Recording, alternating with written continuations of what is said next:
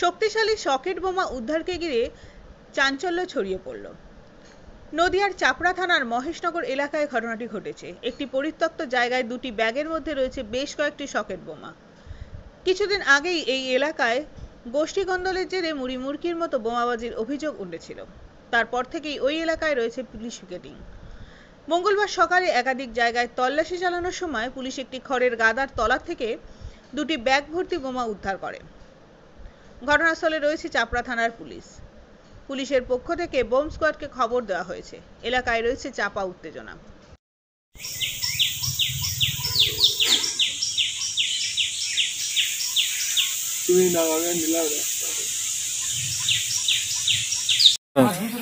হ্যাঁ? বর্ষার সময় বৃষ্টির ভিতরে এই তো